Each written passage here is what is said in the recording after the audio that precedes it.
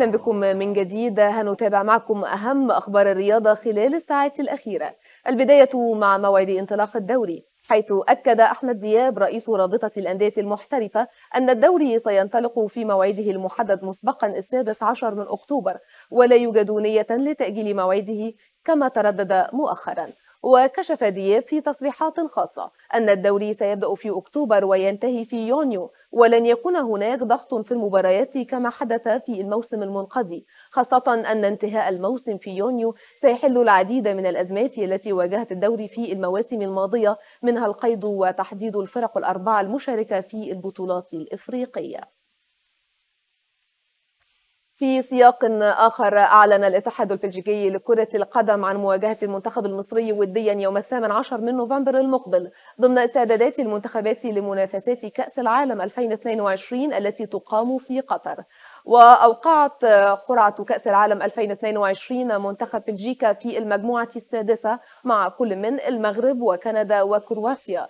ونشرت الصفحة الرسمية للاتحاد البلجيكي على موقع تويتر أن المباراة سوف تجمع المنتخب المصري مع منتخب بلجيكا في الكويت في تمام الرابعة عصرا.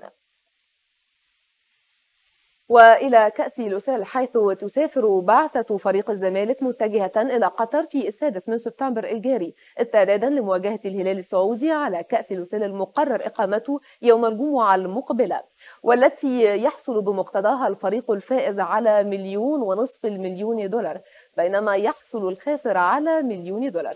ومن المقرر أن ينظم مجلس إدارة الزمالك عددا من الرحلات الجماهيرية المخفضة لتشجيع الفريق. بالإضافة للجماهير المصرية المتواجدة هناك لتحفيز اللاعبين على مواصلة الانتصارات بعد تحقيقهم لبطولتي الدوري والكأس القديم بالإضافة للصعود إلى دور الثمانية من بطولة الكأس الجديدة ورغم أن المباراة شرفية إلا أن المدير الفني لفريق الزمالك يأخذها مأخذ الجدية وسيقوم بإشراك القوام الأساسي لخطف اللقاء خاصة أن المنافس أحد أقوى الفرق على الساحة الكروية العربية في الوقت الحالي. وفي القلعة الحمراء. يفاضل مسؤول نادي الأهلي بين عدة دول أوروبية لإقامة معسكر الفريق الخارجي قبل بدء الموسم الجديد.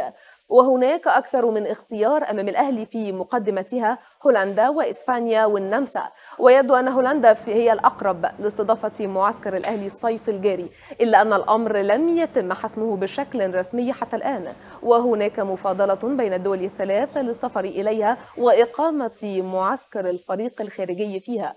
وكان مجلس الأهلي قد وجه الشكر للبرتغالي ريكاردو سواريش المدير الفني للفريق وجهازه المعاون عن الفترة الماضية. وينتظر جمهور الأهلي إعلان اسم المدير الفني الجديد للفريق. إلى هنا نكون وصلنا مع حضراتكم لنهاية نشرة أخبار الرياضة. شكرا لحضراتكم على طيب المتابعة وإلى اللقاء.